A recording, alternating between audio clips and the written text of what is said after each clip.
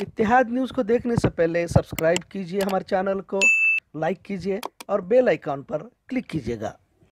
Sir पूरे देश में एनआरसी सीएए को लेकर विरोध हो रहा है। हज़ारों लाखों की तादाद में लोग सड़कों पर निकले हुए हैं। लेकिन आप जो है समर्थन में उतरे हैं तो आपके साथ लोग भी काफ़ी कम हैं। तो ऐसा नहीं लगता कि आप जो है विरोधकों के मुकाबले में बहुत कम हैं। इसकी क्या वजह है? हम ये कहना चाहते हैं कि सीए और एनआरसी में कौन सी भी खामी नहीं है। पूरी सूझबूझ से ली गई एक जो प्रस्ताव रखा गया, पूरी सूझबूझ से रखा गया है और ये ज़रूरत भी था देश के लिए। हम भी जानते हैं, शायद पूरे देश भर में 25 लाख लोगों ने विरोध किया रहेगा। सर, लोगों का कहना है कि एक धर्म विशेष को टारगेट करने के लिए यह कानून पास किया गया है। तो इसके बारे में आप क्या कहेंगे, सर? इसमें धर्म धर्म विशेष किसी भी धर्म का, जो हमारे नेबरवुड कंट्रीज़ है, उनके उधर जो कोई भी अल्पसंख्यक है, धार्मिक धार्मिक उत्पीड़ना के बलि चढ़े हैं, और जो दुखी है उन लोगों को भारत में लाकर वो संपूर्ण नागरिक जो सुविधाएँ देने का आश्वासन हमारे देश के पंत प्रधान पहले वाले पंडित जवाहरलाल नेहरू जी ने दिया था और सर क्या फ़िलहाल जो देश के अंदर जो ऐसा क्या आर्थिक परिस्थिति है जीडीपी गिर रहा है रुपया गिर रहा है ऐसी हालत में इस तरह के बिल लाना क्या ज़रूरी था क्या अब?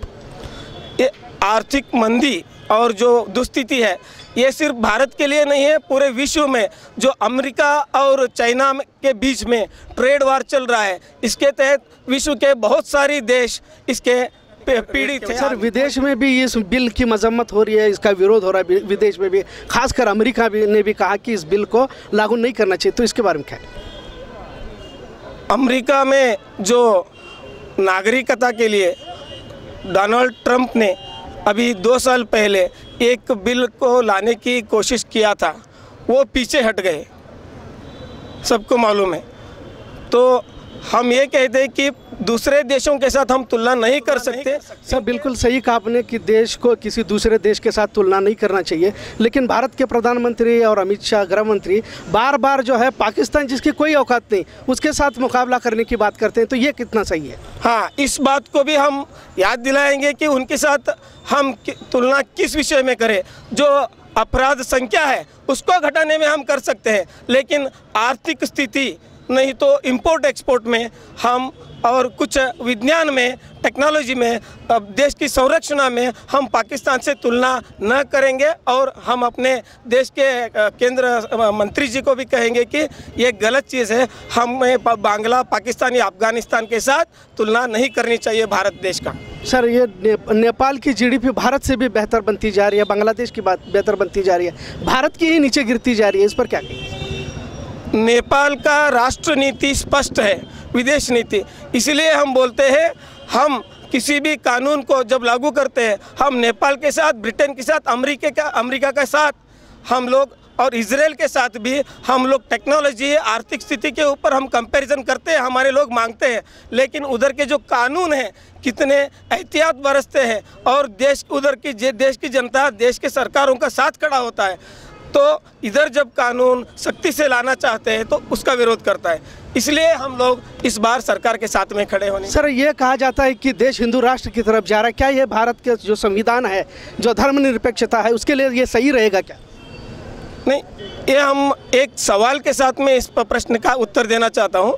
जब जामिया मिलिया विश्वविद्यालय में पुलिस घुसती है और उधर से, अंदर से पुलिस के ऊपर, जो समाज की रक्षणा के लिए आते हैं, रक्षा के लिए, उनके ऊपर पत्थरबाजी होता है, पथराव होता है। तो उधर पुलिस घुसती है, उधर की जो वाइस चांसलर है, वो बोलती है कि बिना इजाज़त के पुलिस अंदर घुस गई।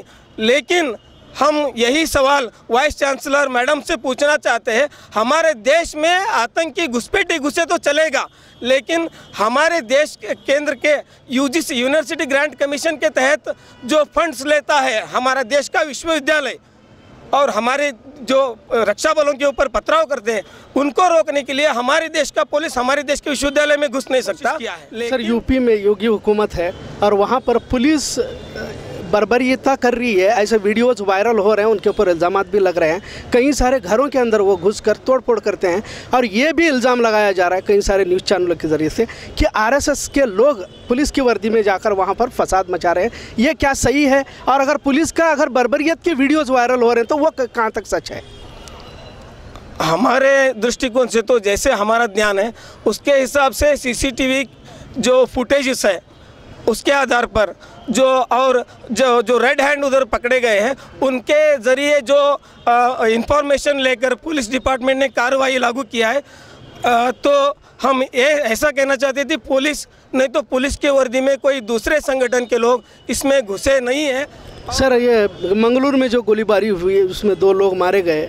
येड्रोपा सरकार कहती है कि हम उनसे उन्हें अनुदान नहीं देंगे फ़िलहाल लेकिन बंगाल से ममता बनर्जी कहती है कि हम अनुदान देंगे। तो ये क्या है?